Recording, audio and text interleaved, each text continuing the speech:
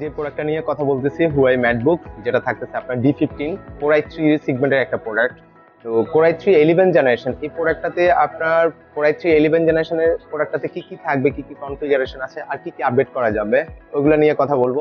এটা থাকতেছে আপনার কোরাই থ্রি ইলেভেন জেনারেশন যেটার প্রসেসরের model triple one five G four processor থাকবে।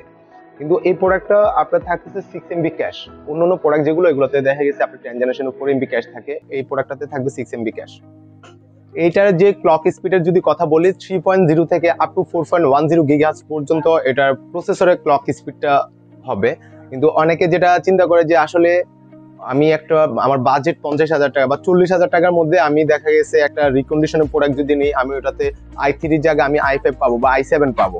তো সবার উদ্দেশ্যে আমি আজকে এই কথাটা বলতেছি যে আপনি যদি আই থ্রি জায়গায় মনে করেন আপনার বাজেট চল্লিশ হাজার টাকা বা পঞ্চাশ হাজার টাকা, এই পঞ্চাশ হাজার টাকার মধ্যে আপনি আই সেভেনের সিক্স জেনারেশন না নিয়ে আই থ্রি ইলেভেন জেনারেশনটা নিলে আপনার জন্য অনেক বেটার হবে। কারণ প্রথমত হলো আই সেভেনে যদি যান, ওটাতে সর্বোচ্চ ফোর এমবি ক্যাশ থাকতেছে।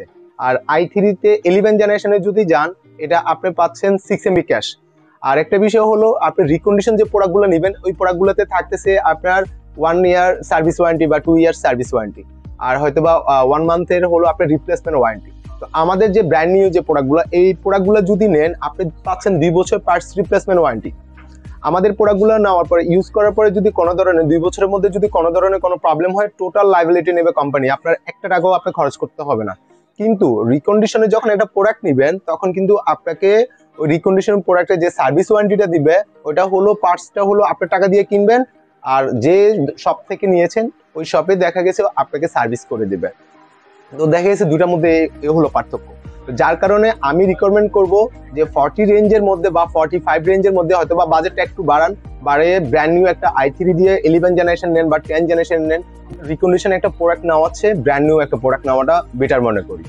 তো আমরা যে ডি ফিফটিন নিয়ে কথা বলতেছি ডি ফিফটিনের মধ্যে কি কি আপডেট করা যাবে ওটা বলব। আর এটার প্রসেসরের মডেলটা তো বলে ফেলেছি, আবারও বলে দিই, যেটা থাকতেছে triple one five G four processor থাকবে। আর এটা যে ক্যাশ এমবি থাকবে সিক্স এমবি ক্যাশ আর এটা যে ক্লক স্পিড থাকবে থ্রি পয়েন্ট জিরো থেকে up to four point one zero থাকতেছে আপনার এইট জিবি বত্রিশশো মেগাহার্টসের একটা র্যাম থাকবে। আর এটাতে যদি আপডেট করতে যান আপডেট করতে পারবেন না। কারণ ম্যাকবুকে যেরকম আপডেট করা যায় না এই প্রোডাক্টটা তো সেম আপডেট করা যায় না। কারণ এটা লুকস আউটলুক ডিজাইন সবকিছু ম্যাকবুকের মতো করেছে যেটা ম্যাকবুক প্রোর মতো করেছে। তো এটাতে থাকতেছে আপনার eight GB RAM two fifty six SSD দুশো ছাপ্পান্ন জিবি এসএসজি বাট ওই এসএসজিটাও আপনি আপডেট করতে পারবেন না। তো এটা আপনার স্টোরেজ যদি বাড়াইতে যান হয়তো বা পোর্টেবল আপনাকে ইউজ করতে হবে যেটা ম্যাকের ক্ষেত্রে হয়। এটার মধ্যে যে উইন্ডোজ এর কথা যদি বলি উইন্ডোজটা থাকতেছে অরিজিনাল উইন্ডোজ ইলেভেন হোম ভার্সনটা থাকবে। এটাতে প্রো ভার্সনটা ডিসপ্লেটা আছে এটা কিন্তু আপনার totally narrow bezelless narrow bezelless থাকবে। আর এটা থাকতেছে ডিসপ্লেটা আপনার ফুল এইচডি আইপিএস প্যানেল যেটা ওর স্ক্রিন রেজলিউশন থাকবে উনিশশো বিশ আইপিএস প্যানেলের যে বিশেষত্বটা আমি বারবারে বলি প্রত্যেকটা ভিডিওতে আমি বলি কারণ এখানে অনেকেই কনফিউশনে পড়ে যান যে আসলে আমি তো ফুল এইচডি নিচ্ছি, তারপর নেগেটিভ কেন পাচ্ছি?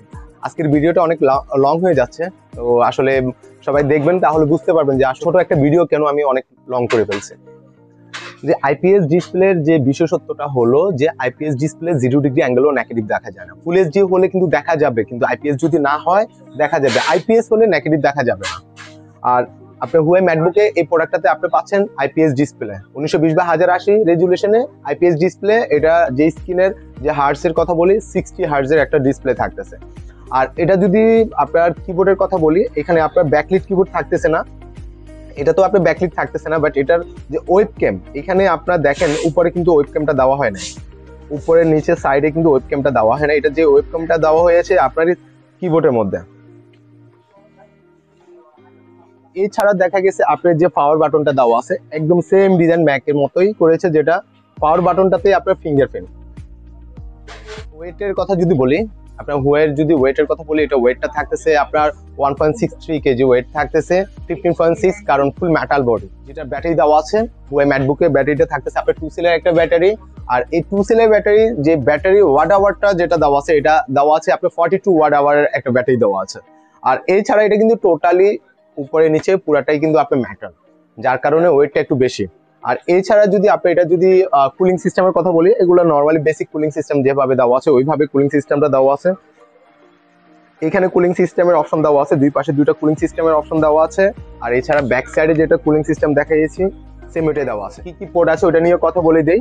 এটা যদি প্রথমত যদি বলি, এই পাশে আপনার HDMI port USB three type C তিনটা পোর্ট দেওয়া আছে। আর ঠিক অপোজিটে যদি বলি এখানে একটা আপনার মাইক্রোফোন কম্বো জ্যাকের একটা পোর্ট দেওয়া আছে আর দুটো ইউএসবি থ্রি দেওয়া আছে।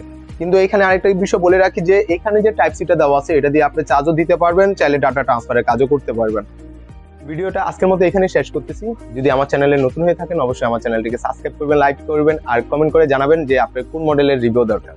সবাই ভালো থাকবেন, সুস্থ থাকবেন, আল্লাহ হাফেজ। সালামু আলাইকুম।